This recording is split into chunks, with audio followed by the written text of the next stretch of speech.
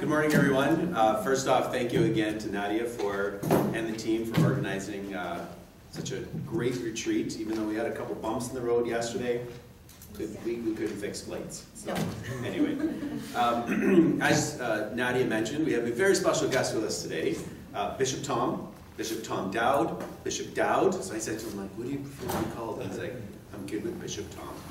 Uh, in more formal settings, obviously Bishop Dowd. But I've had the opportunity to uh, have dinner with Bishop Tom, and we've had a few conversations, and I'm so very grateful um, that we have someone like uh, Bishop Tom with us. He really is hands-on. He wants to get to know us. Um, and when, when we asked him, um, would you mind doing a mass for us? He's like, sure. What else can we do? Uh, because he wants to spend time with you. He wants to get to learn more about us. He wants to get to learn more about our, our Catholic school board. He wants to get to know about each of your schools. And uh, we had a, he shares some great stories with me and, uh, at, at, the dinner. And, and, one of them was uh, when he had gone to visit Elliott Lake. And typically, and I'm sure many of you who live in the north and the east can relate to this, that sometimes when visitors come, it's like a day in and out. Uh, and um, Bishop Tom shared with me that he spent three full days in Elliott Lake um, because he wanted to meet with you know, the mayor and the schools and, and uh, do a few quality visits. And I think um, that really resonated with me that, uh, he, I mean, he's a bishop, so he's kind of, you know, a big deal. So I think he got there uh, for a good reason. Uh, but, I mean, it's a lot to be said when someone is uh, very genuine and, uh, and hands-on. So thank you very much for being with us today. And I turn it over to you. Please offer a warm welcome to Bishop.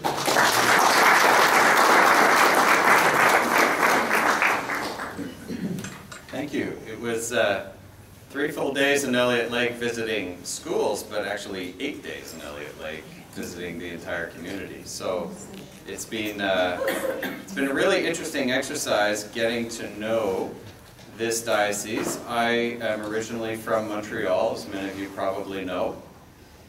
Uh, born and raised there, went to school there, went to seminary there, did my graduate work there, was a priest there, bishop there. The longest I have lived outside of Montreal is actually the last year and a half that I've lived in Sudbury. So it's been a, an interesting transition. There's nothing quite like moving to Northern Ontario in December in the middle of a pandemic with a blizzard raging. Anyway, but uh, it, I, have uh, learned to love my car, lots of driving. Uh, I, I, got a brand new car when I got to Northern Ontario, so I'm only up to 42,000 kilometers at this point after a year and a half. So really trying to get to know the territory, but I have to say it already feels like home. I was in Toronto at the beginning of the week, and as I was driving back, you know, big city, bright lights in the evening and all that, I was like, what am I doing here? And then I managed to make it back to the Canadian Shield and I felt my blood pressure going down, you know. this is nice. Almost hit a bear crossing the road, but that's another story. That's true, actually, it almost happened. So, uh, the subject that I've been asked to address with you, tied to the whole theme of wellness, is spiritual wellness.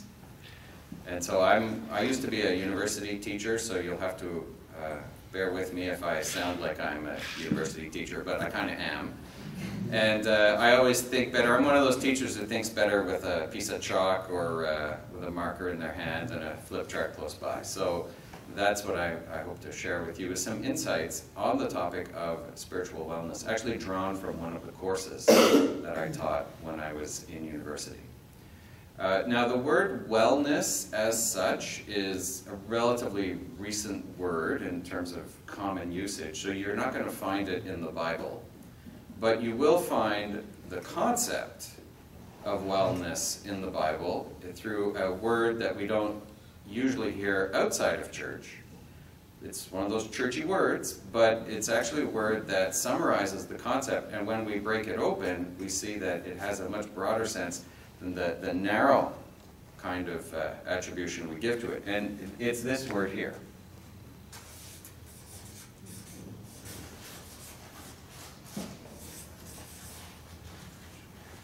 Salvation. There's a churchy word for you. But salvation is from the Latin word salus. salus means health.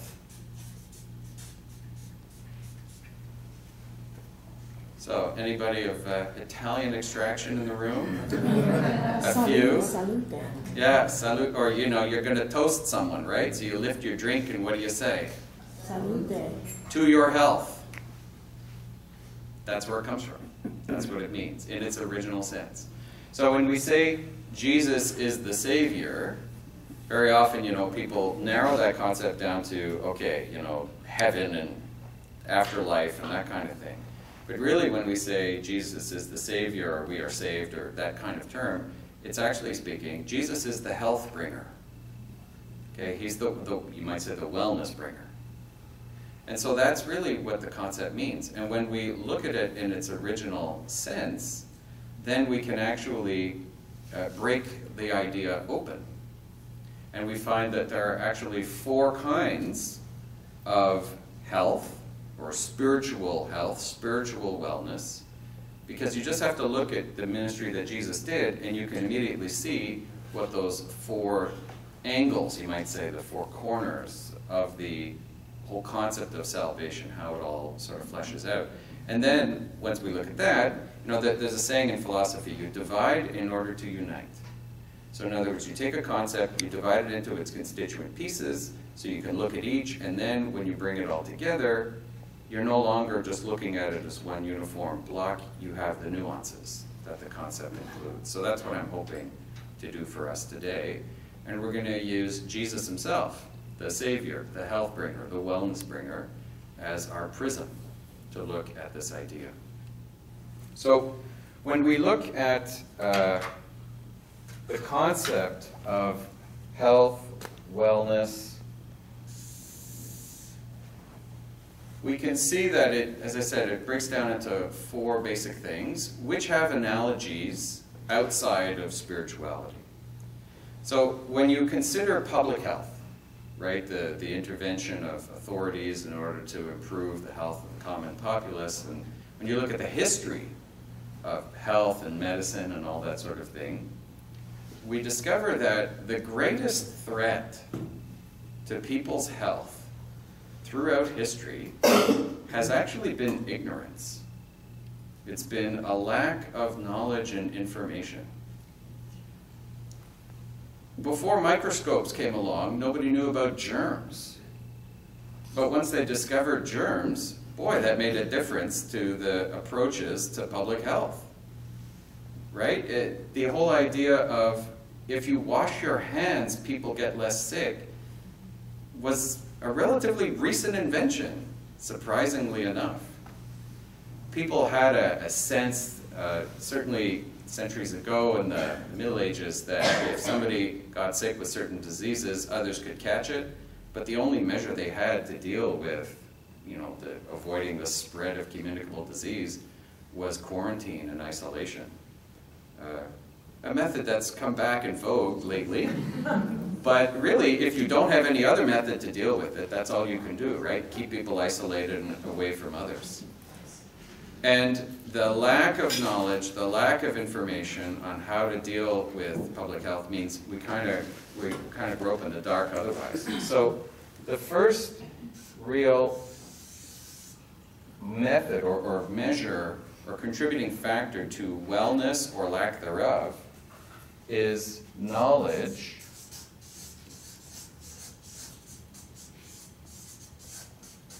of, first of all, the functioning of the body, how it works, and then, of course, knowledge of how it heals, uh, knowledge of how, you know, we're, we're constantly being bombarded by stuff that the body has to deal with. There's a, there's a ton of germs in this room right now. Uh, there's, you know, ultraviolet rays from the sun, and there's, you know, pollution from cars and all that stuff. The body is in a constant motion of trying to deal with all of the things coming in, processing food, but not everything in the food we eat we keep, you know, so uh, all that kind of thing. The body's in a constant interaction with its environment. So knowledge of the body plus the environment.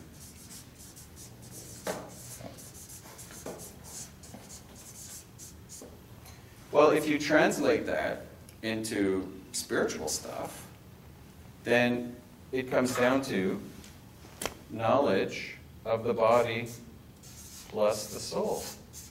Spiritual wellness involves our spirit. So, what, what is the interaction of the body and the soul? Are these just two separate things? Is the idea of the soul just an abstraction, you know, just a, a churchy word without any real substance? It turns out we have in our Catholic tradition 2,000 years of reflecting on the nature of the soul and how it interacts with the body. And then, of course, its environment as well.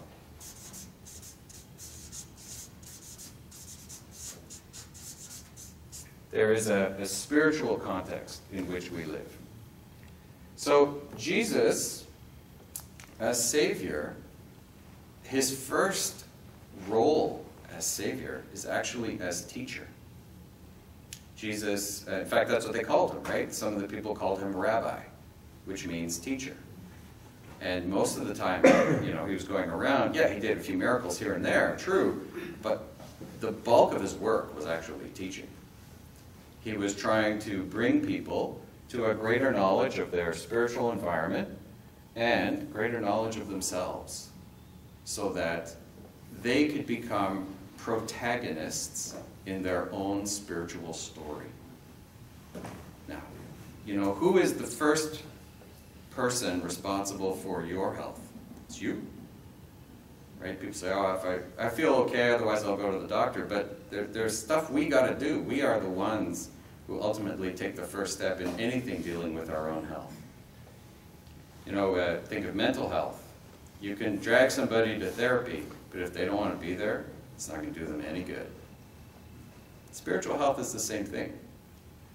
So, Jesus teaches us in order to give us the knowledge, therefore, with that, some skills, in order to look after our spiritual environment.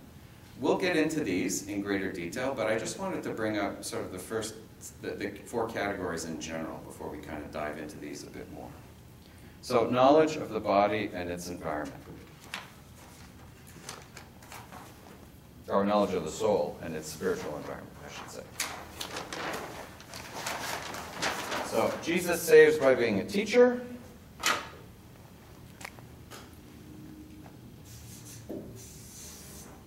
Now, the uh, that it's great to know. Uh, as I said, one of the greatest threats to public health is ignorance. So once we know that, but there is another threat to public health, which is disease. I mean, COVID comes along. Uh, obviously, when we knew nothing about it, it was a lot more stressful. And as research happened and we knew more about it, people's stress levels started to go down. We had a better sense in, in public health how to deal with it. Remember the first lockdown? Where everything shut down. You know, absolutely everything. Um, gradually we learned, but the fact, simple fact is the reason we had to do all that is because there was a virus in the first place, right?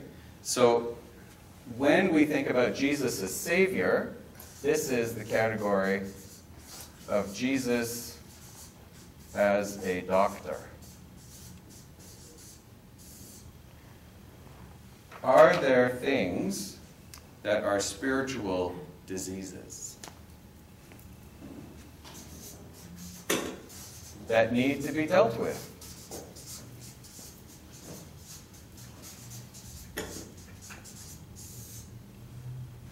Where someone needs to intervene? Well, it turns out there are. There are some of these. And the part of the soul that these affect most directly is our conscience.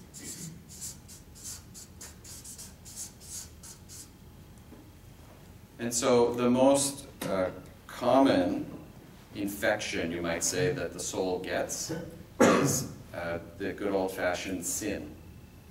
When we choose to do something and it affects us in such a way that it actually harms the life of the soul.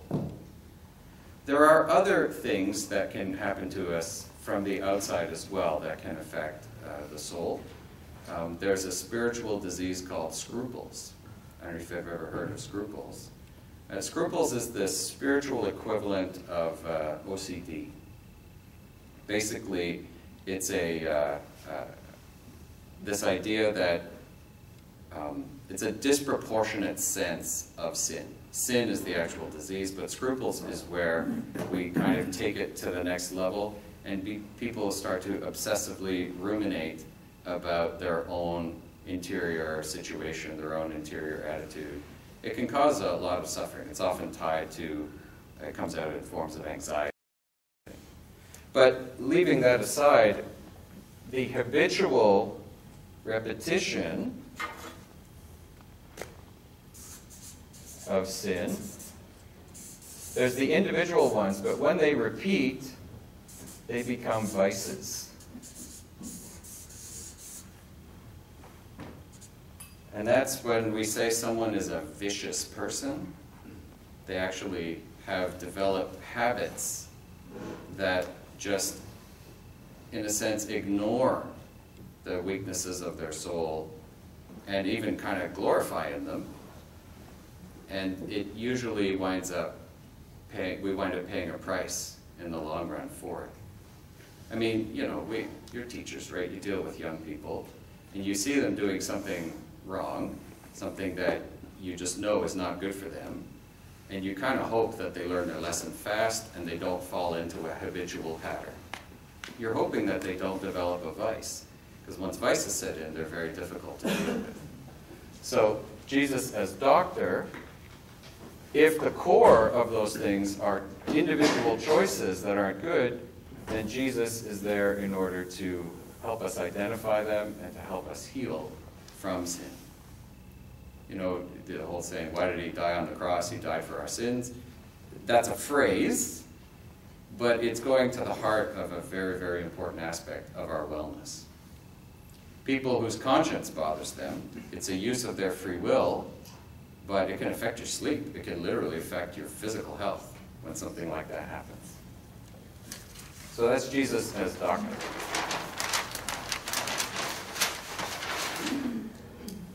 So the third category.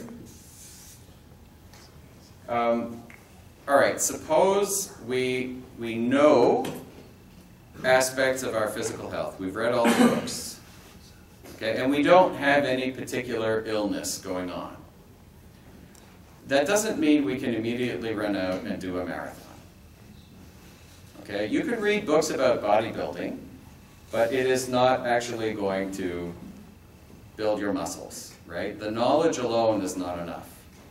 And the fact that one does not have any, you know, particular outstanding illness, Arnold Schwarzenegger can get a cold, right? So he'd be, the cold is category number two, but in order to develop that strength, we need positive habits, not just about avoiding the negative. You need positive wellness habits in order to go from being sort of at normal health to being at a level of excellence. So the third category is something, uh, I'm going to give you another churchy word, theosis. So theosis in English means divinization. In other words, becoming more and more like God to be divinized, to gradually become more and more divine. Uh, that is not something you're born with, it's something we grow into. And so this is Jesus as coach. For all you uh, people who teach phys ed or coach a, coach a sport of some kind for the students, you are imitating Jesus when you do that because you're trying to help the young people develop a positive, uh, uh, you know, an improved aspect of their physical nature, of their physical health. Well, there are spiritual aspects to this as well. There is spiritual development.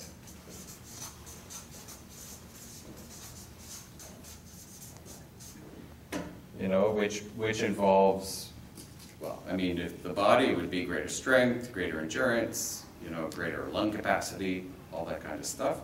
The soul has those capacities too, which can grow. There's a sense that the soul can stretch in order to be able to receive more of God's presence.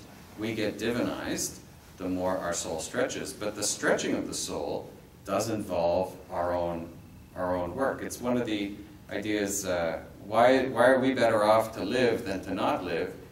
You know, even if we don't have any sins or anything like that. From a spiritual side, it's because we have a greater opportunity to stretch our soul. And then finally,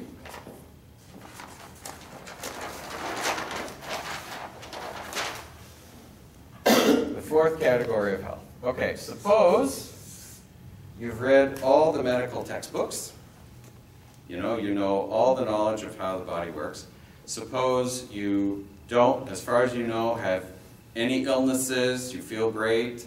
Suppose you go to the gym regularly, so you know you're in peak physical form, and you're lying in bed at home and the fire alarm goes off. Is there a threat to your health? Absolutely. And none of the other things you just did are going to help you in that moment. Your first step, get out of the house. Right? Get your kids, hopefully get your spouse if you have one, and get out of the house, right? So And so, uh, in order to, and if you're in a high rise, then you pray that there's going to be a really big ladder coming your way. So sometimes we need rescuing. Sometimes we need special outside intervention to come and assist us. Uh, not because we ignored any aspect of our health before or anything like that, it's just that's the situation. So this is actually Jesus as rescuer. So the need for outside intervention.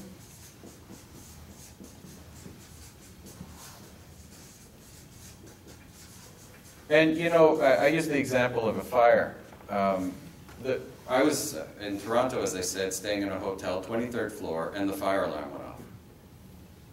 And so, you know, the first thing that happens is the intercom comes on and they say, don't try and use the elevator thinking, I have to walk down 23 flights of stairs?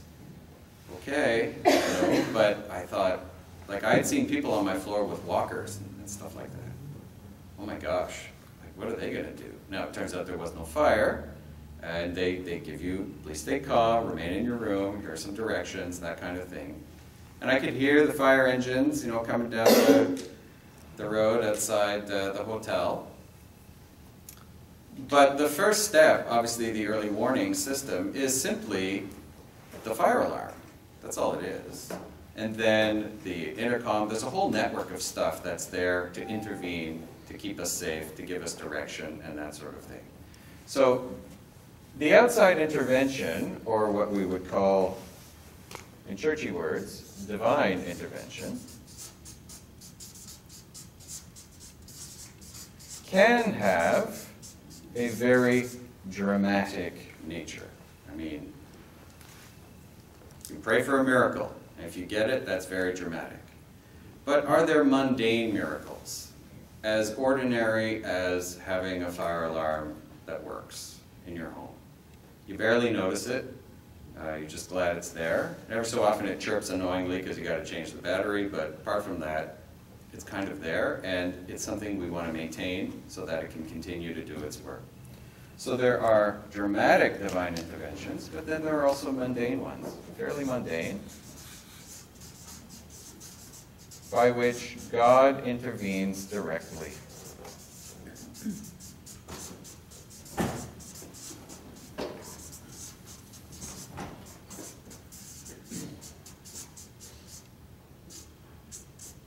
So that's the four sides of health. You know, if we think about it for ourselves, staying in that hotel room, the fire alarm, the firefighter showing up, all of that is part of the my personal health. Right? If something had gone on, I'm really glad they were there because my health could have otherwise been very badly affected by a fire in a hotel. They were doing lots of renovations in that hotel, so All you need is for some blowtorch to go wrong and poof, we're in deep trouble. So those are the four things. And as you can see, you know, um,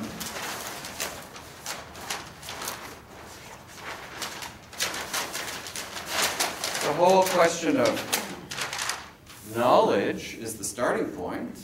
What is a healthy diet? Uh, you know, what are some basic elements of the functioning of our bodies? That's where it all starts.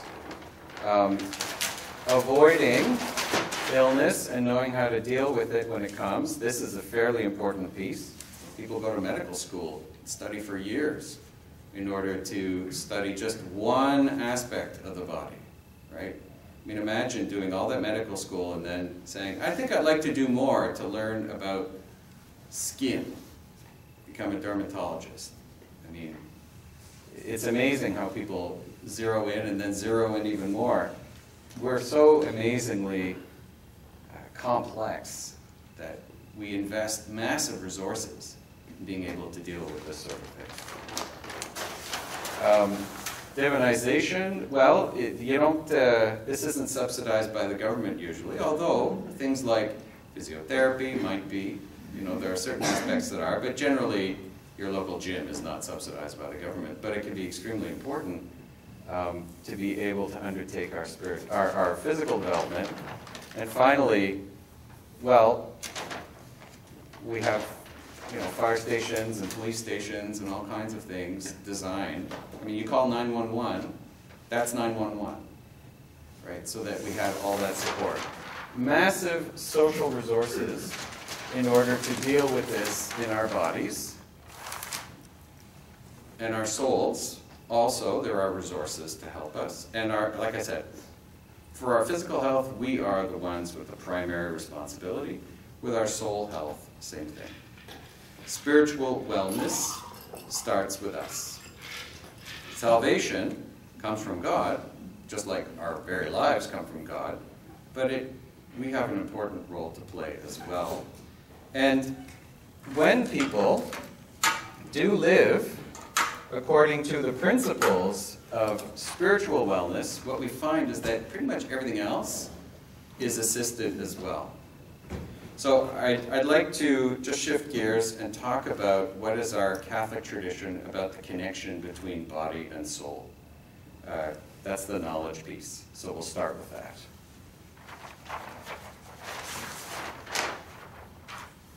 So, body and soul are two distinct realities. They are not the same thing. But the Catholic understanding is not that body is sort of over here and soul is over here as two separate entities. The, our tradition, and this goes back to the Jewish tradition, it goes back to uh, actually the story of the creation of Adam and Eve. It describes, after God creates uh, the first man, he breathes the breath of life into him. You know, he's made out of the, the, dirt of the earth. That's why he's called Adam, by the way. It's from the word Adama, which means the clay, the soil, the dirt.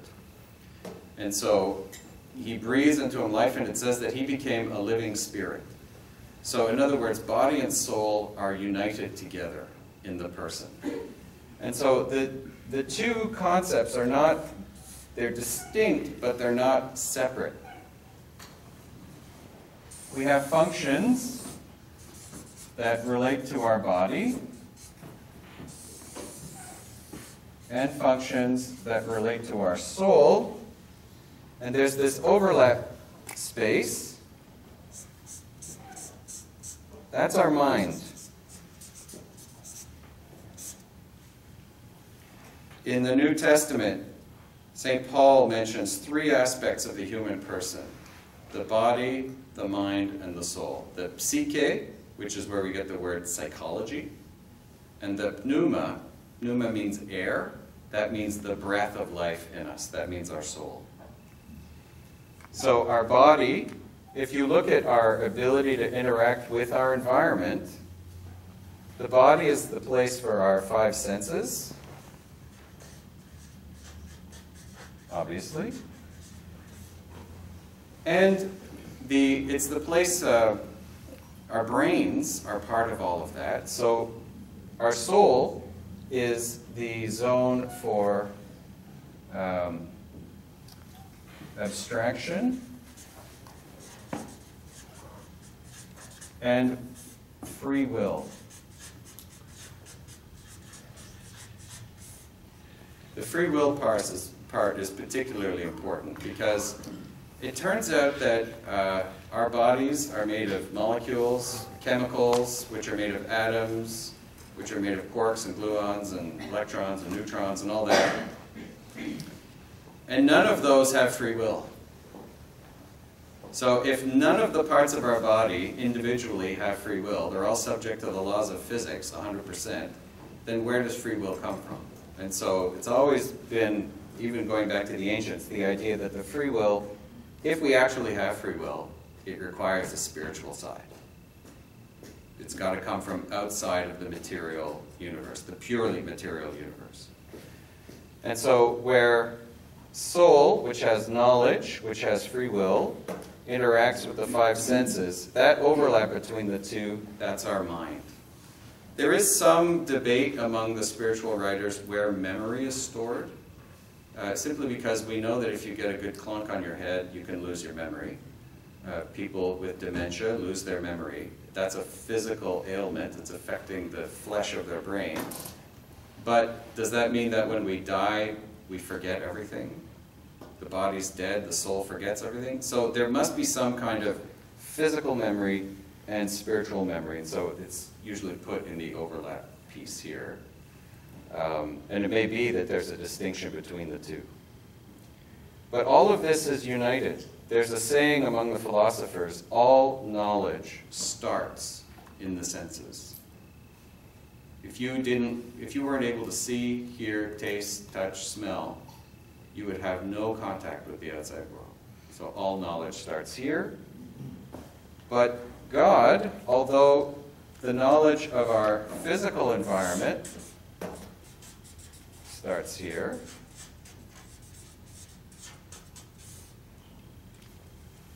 it is possible for God to intervene directly through the soul. That's what we call inspiration. When we say the Bible is inspired, what we're saying is the Lord intervened directly in the abstract portion, in the knowledge portion of the soul. The, the people were receiving these concepts, these ideas. It's not like they were hearing words. That would involve their ears. That's this side. But they were receiving this knowledge and they turned to their memory, they turned to their language, and they found the words to express what God was trying to say. So how do we how do we engage in spiritual wellness training for this part of who we are? First of all, to get to know our soul, how it works. And secondly, to feed the soul with a mind that is developed so that when God speaks to us, we are able to hear. So there, honestly, if you want to undertake spiritual wellness in category one, where this is Jesus as teacher, there is no better way than getting to know the Bible. That's step one. Because if the Bible really has concepts and words that were inspired by God, it means that when God is going to talk to you in your soul, it's going to seem familiar. You're to, like, it, it's like learning a language, right? If you go to a country and you don't speak the language, they'll use all kinds of words and it means nothing. But if you learn the words, then when they speak, you're going to be like, oh, wait, I remember that word in class. As you start to learn a language, it just starts with a few words that seem familiar or a few scenarios that you remember. I don't know if you've had the experience of learning a language, but very often it starts with us uh, learning phrases in common situations, being learned how to order coffee, you know, in a coffee shop. So you go to Italy and un caffè per favore, you know, and suddenly you get a coffee and you feel like you won, won the lottery, you know, like I can do this. Uh, for me, my test of learning a language when I was learning a new one was, can I take a taxi on my own? Forget the test at the end of the class. Can I take a taxi to get to the airport? That was my goal. So you, through familiarity, God speaks to us and is able to teach us directly. The other aspect I would say, if you want to be able to enter into this in spiritual wellness, involves places and zones of silence. Of physical silence helps, interior si- silence, quiet helps. Uh, just being able to settle down, going on a retreat, for example, uh, if we're not constantly loading it up with stuff and distraction, that silence in the soul means that it's a lot easier to hear or sense the movement of God in our soul. So, the Bible, some good old fashioned silence. Some people, they just like to take time in the evening.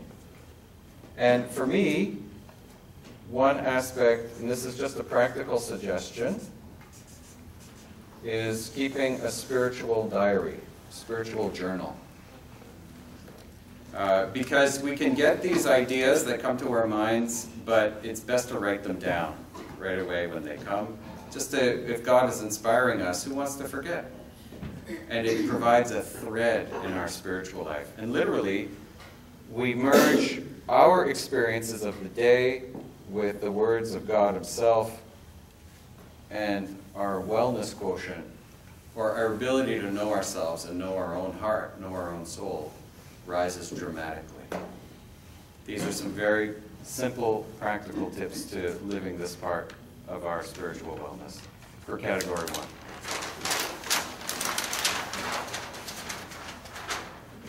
For category two, um, spiritual diseases affecting our conscience, sin, and vices.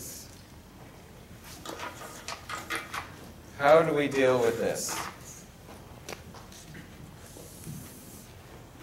The most effective initial tool, first of all, this is not about making people feel bad about themselves, quite the reverse.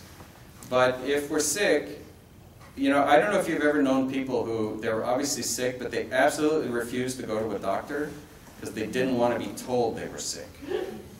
Some people are laughing. You know exactly what I'm talking about. Or they go and they say, I don't feel well, doc. And, oh, where does it hurt? Well, I don't want to tell you. Well, then why did you go? You know, what are you doing here? Um, so there has to be some measure, first of all, of humility. Humility, by the way, is not about going around saying, oh, what a worm am I. Uh, humility, the spiritual definition of humility, is the ability to live in the truth, as opposed to live in denial. Denial is not just a river in Egypt, obviously. Uh, denial is a barrier to spiritual growth. And so, when it comes to our, our moral qualities, we have to be willing to look at ourselves. Now, we're not condemned to simply look at it and say, like a person who's sick and goes, oh boy, I'm really sick, I'm really sick, I'm really sick. I've known people who almost kind of enjoyed being sick because they got to go for pity or self-pity, that kind of thing. Finally, you're like, will you shut up about it? Go see a doctor, you know? Well, uh, when it comes to spiritual sickness, we, uh, because it involves not things that happen to us so much as things we did, it's a little more embarrassing. You know, another thing that keeps people from going to the doctor is when the thing that's making them not well can be traced directly to something stupid they did. Mm-hmm. And it's like, oh, I really can't go see the doctor because, you know, I'm going to get judged or something. Well, the sin, obviously, that's every single time. And so it makes it a little bit harder to tackle this part of our soul. But that's why we have confession, right? Confession is there because we have specialists who are trained to be able to hear everything we do. That's why the seal of the confessional is there. The seal of the confessional is the earliest form of professional secrecy we have in Western civilization. Prior to the lawyers not being able to talk, prior to doctors not being able to talk, it started with the seal of confessional, precisely so that people could know that whatever they say will be kept in confidence. I can tell you, as a priest, after six months, I had heard every single one of the Ten Commandments, including thou shalt not kill. Six months. After 20 years, you know, people are like, oh, I, I don't know if I want to tell you this. And like, I've heard everything, you know? So uh, the idea is we, we're professionals to help people work through that. But again, we can't do it for you. It starts with each of us doing, having the humility to say, okay, I'm willing to look at myself in this way, and then something called the examination of conscience. I don't know how many of you uh, have ever had this experience. They, you can actually find published lists of examinations of conscience. You can look it up on the internet. It can be like 100 questions long. You know, did you do this? Did you do that? How many times did you do this? And that sort of thing. And those can be helpful, particularly as we're growing in our spiritual life, because we want to be thorough. But uh, often the examination of conscience can be done much more simply. Share with you a story. I was on a retreat, and there was a, I was a seminarian. I wasn't a priest. Uh, I was on retreat, and there was a, a priest coming to the retreat to hear confessions. A couple of them were coming. And I expressed to the people at my table that I was really looking forward to going to confession. And one of the guys at the table said, What are you going to confession for? You're a seminarian. You don't have any sins. I looked at him. I can assure you, I, I have sins. Like, I'm, I'm not perfect. And then he paused and he goes, You know, I would go to confession, but honestly, I don't think I have anything to confess. He says, I haven't murdered anybody. I haven't, I haven't robbed any banks. You know, I, I think I'm basically a good guy. I, and he was being very sincere. He said, I honestly could not think of anything to bring to confession. And I said to him, You're married, aren't you? And he said, Yeah. And I said, If I was to ask your wife for any suggestions of things to bring to confession, do you think she would have any? Oh, yeah. I said, Well, why don't you start with those? It doesn't have to be complicated. But, you know, the, the problem with this fellow is not that he didn't have any sins, that wouldn't even be a problem. Uh, the problem was he just wasn't able to look at himself. He had not developed the habit of self-examination, the examination of his conscience. But just by saying, put yourself in somebody else's shoes, uh, doing an exam, a, a personal self-exam at the end of every day, uh, using the published lists, going through the Ten Commandments. One time I was in a parish during Lent, we would put the Ten Commandments up on the overhead screen and just read them out. Just read them out loud together as a parish at the beginning of Mass. And one of the priests would go to the confessional, and we had plenty of business. Just through, just through people seeing it, you know. So, very often with this process, people will come and they, they're not even sure they want to be there, but they're willing to take the step and it, they feel that relief that comes from their soul suddenly not having this poison in it, and they want to come back. And so over time, what happens is you go from confessing your sins, I did this, I did that, to sinfulness. Because one of the things about confession is after a while, you start repeating yourself. You go back to the same ones over time because you discover which ones are habitual versus the one-timers. And that's where we start to uproot the vices in our life. That's where we go from correcting our past to building for a greater future. That's Jesus as the doctor, the divine doctor, working through that very beautiful sacrament. Um, you know, is it possible to go through life with all kinds of uh, stuff that you know, leaves us sort of limping in our conscience. Sure. Well, why, why do that? Doesn't make sense to me. Jesus' coach, spiritual development. So what does this involve? As I mentioned earlier, this is the stretching of the soul.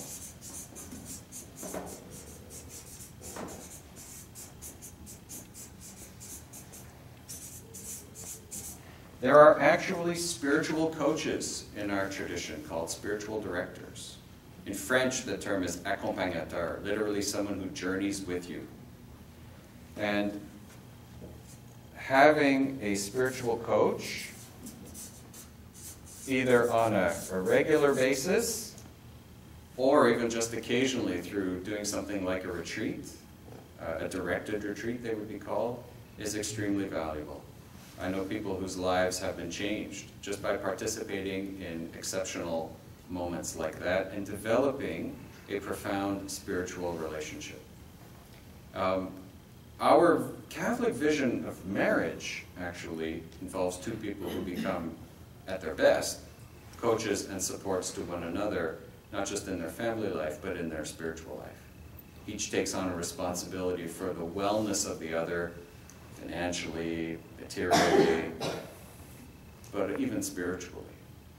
So there can be, where we don't have an actual coach, human being available for us, uh, although, you know, our priests in our parishes, hopefully they're able to do that. Some do it better than others, quite honestly. It's, it's not a skill everybody has. Not every doctor is called to also be a fitness trainer, you know.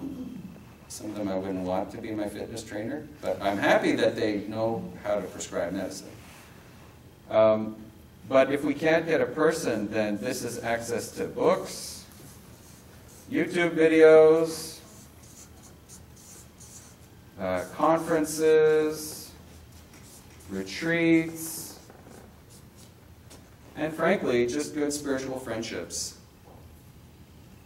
How many people do you talk with on a regular basis about your prayer life? Something about spirituality, it's the most intimate part of who we are. I remember uh, helping couples prepare for marriage. And uh, as part of the marriage prep course, we had to talk about fertility and reproduction and uh, procreation, and the church's teaching on that. And they would all be like, like, most of them were already living together before they were coming for marriage. It's just the way things are nowadays. And they're like, you know, Father, we know plenty about procreation. Eh? Like, we pretty much got that down. I'm like, okay. Uh, then we would talk about their spiritual life as a couple, uniting spiritually, their ability to share the deepest parts of their heart with each other, not just their bodies. And they, they were like, What are you talking about? Sometimes they're even sort of afraid. No, no, we can't go there. Like, you know, there may be times in your life where the physical intimacy will drop off for a period, maybe the physical health of another person, the other partner. But your spiritual health because sharing what's going on in our heart with another person is deeply intimate. And so to have a profound spiritual friendship, just somebody who we can share transparently with and openly with, and share the movement of God in our heart, not just what's going on in our life, is Jesus can work through that person. Spiritual directors, spiritual coaches are trained for it. But even just a person who loves us and whom we trust can do a lot for us. And then access to all these other resources. I don't know if you've ever noticed, but if you follow like a YouTube channel or something, very often we follow uh, somebody because we like what they say and it makes sense to us, and we develop a trust and almost a relationship with that person, that podcast or whatever, even though we've never met them. But we kind of get to know them and see where they're coming from you know, worthwhile stuff like that helps our souls to stretch.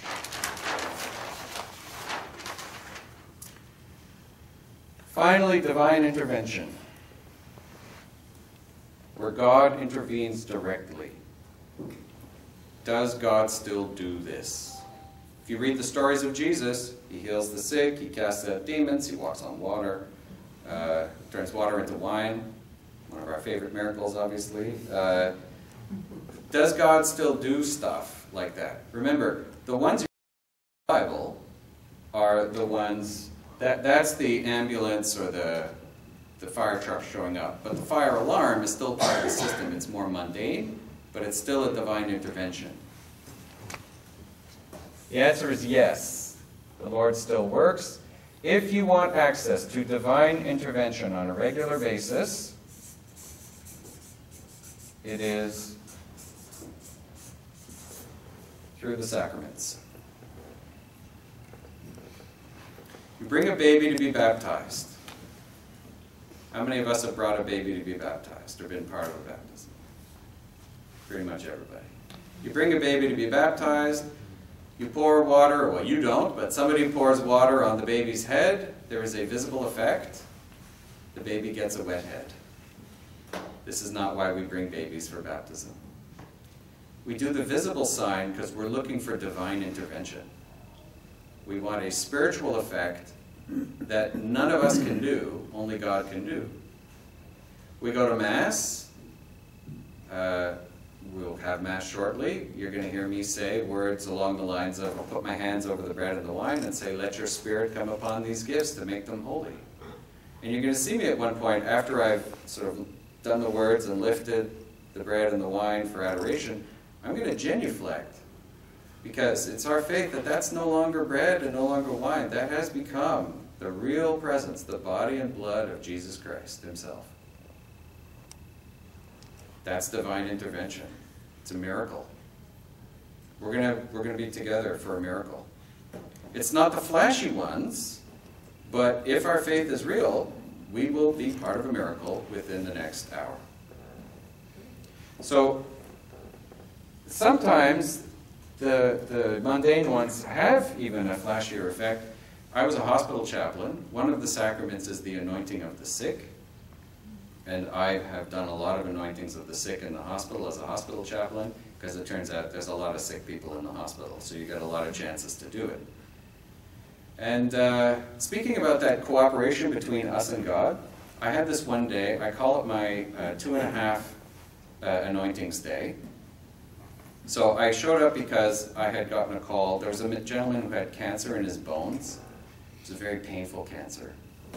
Uh, and he was in his terminal phase. And the nurse, when she called me on my pager, said, Get here fast. We'll be surprised if he lasts an hour. So I got to the room, and he was he had a mask on just to be able to help him breathe, and he wasn't lucid. He was kind of thrashing around, and the family was there, and they're like, "What do we do, Father? What do we do?" I said, "Relax. We're going to pray." And so I, I got out my holy oils and I anointed the man, and I said, The purpose of the anointing is for healing. So we have to look for the healing. Now, he's had terminal bone cancer. So look for the healing is kind of a bold thing to say, but that's the miracle we're looking for. So I anointed the man, and he immediately became lucid. He couldn't speak because he still had the mask on his face, but you can have an entire conversation with people just with your eyes. And so he, he, all of his family was there, except for one, but all of his family was there. His wife was there. They were able to look at each other with great tenderness. He was able to understand their words to him. His son, I remember said one wasn't there. His son lived in Ottawa. They were leaving messages for him. You have to get here as fast as possible. Ottawa is two hours away. The guy was supposed to pass away within the hour. But he lasted one hour, two hours, three hours, four hours. His son showed up. They had the conversation with the eyes, and then he passed away very peaceably. He was not cured of bone cancer. Was he healed? Yes.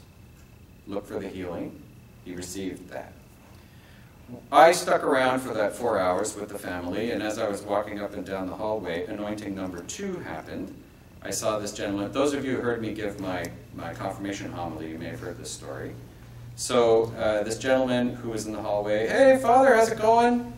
I was dressed like this, so easy to spot. And uh, he was there. I could tell he was a patient because he had on one of the hospital robes with the air conditioning in the back. You know? so um, his daughter was there. He's an older gentleman. I said, what's going on?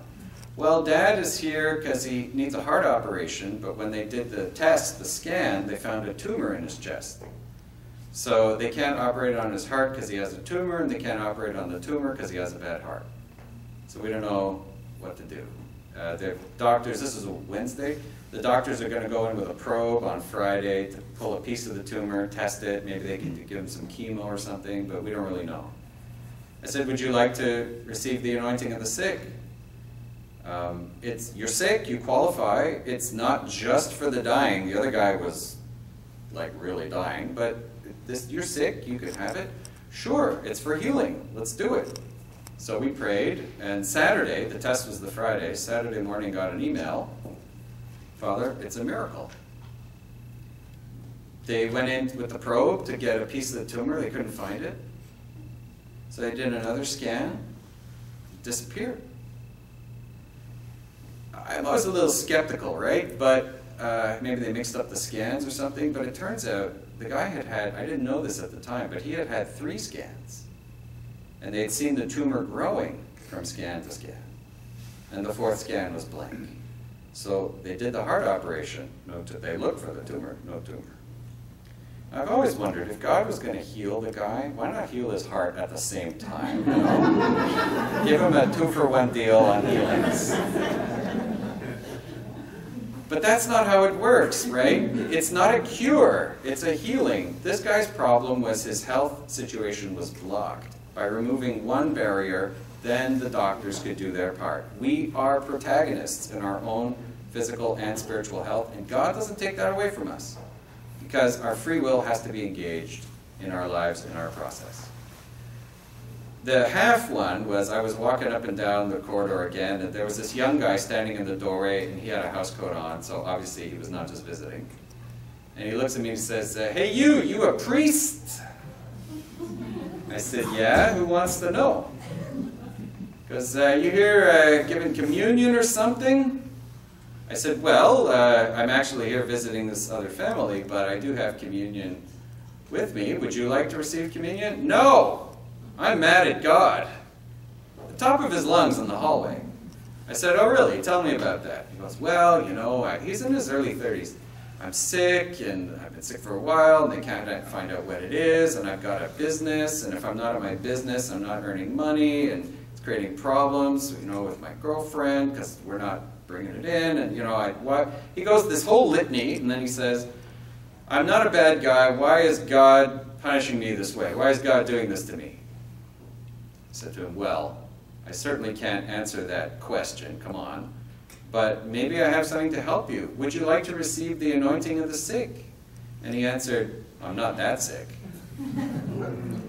he had sacrament of the dying in his head, right? So I looked at him and I said, see here, buddy, okay? You're standing here in the hallway complaining about God's not doing anything for you. And when a God's representative shows up,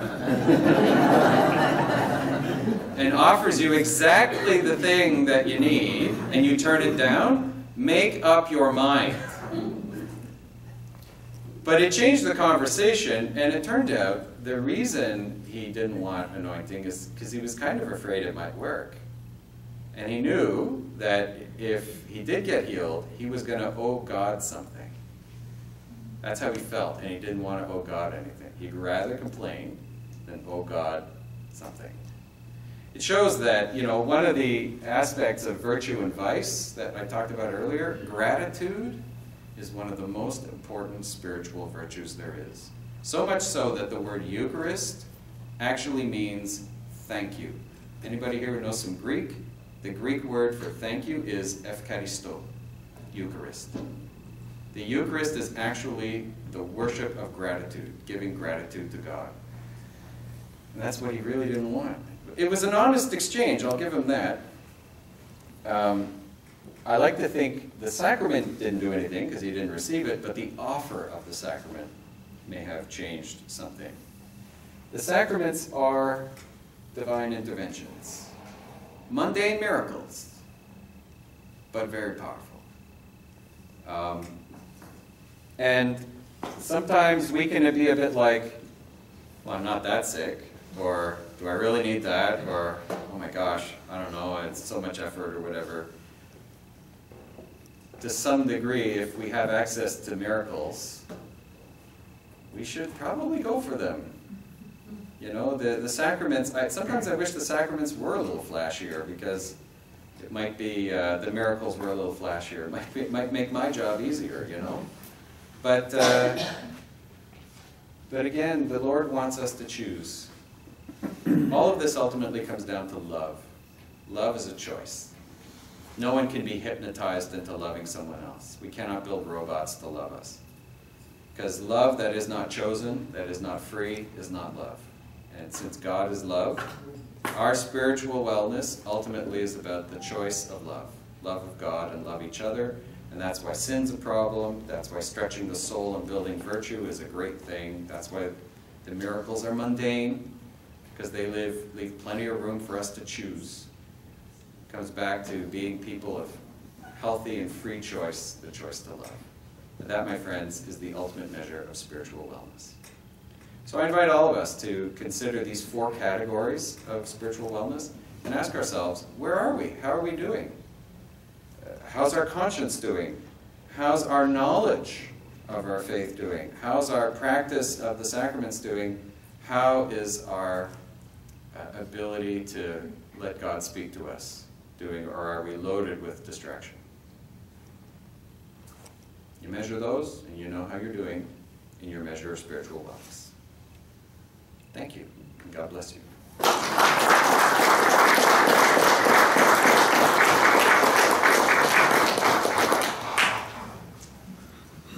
I think we're right on time in terms of our schedule as well.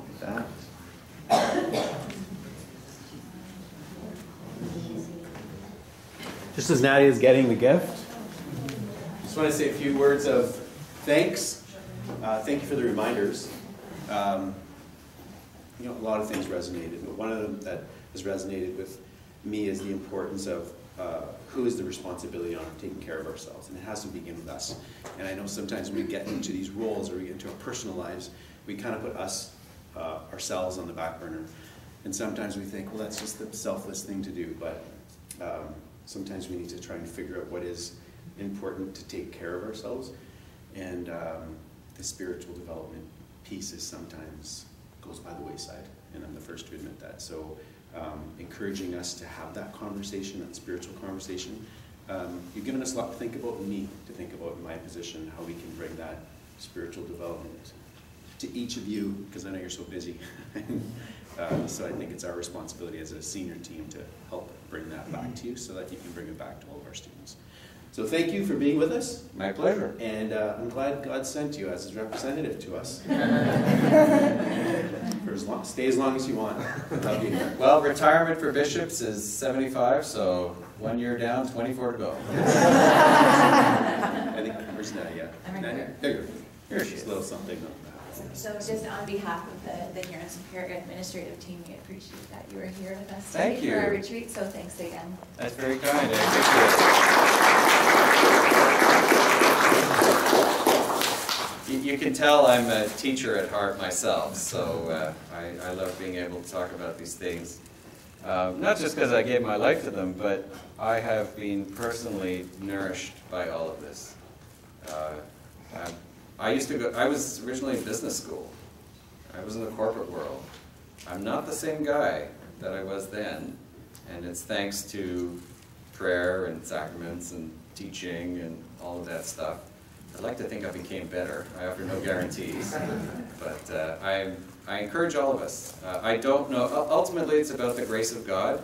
I don't know anybody who became a worse person by being more and more open to God's grace, living by God's grace. And I know a lot of people whose lives were greatly improved uh, by that openness. So I encourage you all. And if you're ever looking for a spiritual coach uh, or even just a spiritual question, we don't have Catholic schools in Quebec where I'm from, but we did have a couple of Catholic private schools. And one of the teachers, we were friends on Facebook, so if the students were asking a question and didn't quite know how to tackle it, he would say, let me message the bishop. And he'd message me, and I'd be like, oh, okay. So I'd message back and, or put me on speakerphone with the class. He got a lot of cred with the students, I'll tell you. Um, I remember those with great fondness. So if I can ever be of assistance to any of you, uh, student asks a question, even if I can't take the call right away, uh, feel free to contact me, and I'd be very happy to, uh, to offer what I can, even like a video response or something like that. I'd Be happy to do that. Thank you. Thank you.